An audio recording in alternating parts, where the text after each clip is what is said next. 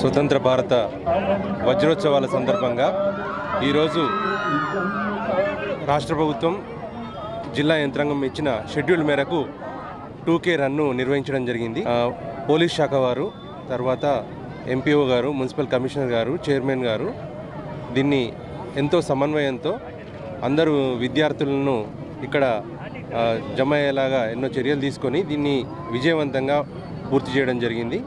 ఇలాగే షెడ్యూల్ ప్రకారం ఉన్న కార్యక్రమాలన్నింటిలో కూడా ప్రజలు విద్యార్థులు ప్రజాప్రతినిధులు అన్ని వర్గాల వారు ఎంతో ఉత్సాహంతో పాల్గొనాలని నేను ఈ సందర్భంగా మనవి చేస్తున్నాను.